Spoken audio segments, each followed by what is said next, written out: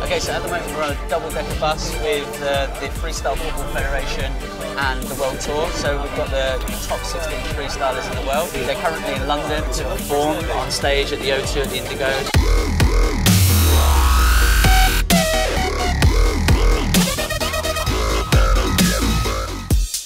At the moment I've got my son here, Leo. and Leo's going to be uh, kind of observing and watching. I'll take you on the world tour, I think. Take me The aim of it is to get some uh, documentary footage and some insane skill footage for uh, the, STR Skill School channel.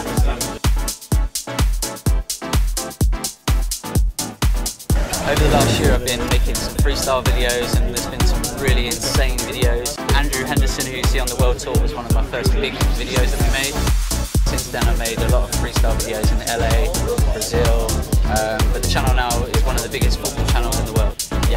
it to believe. It's insane.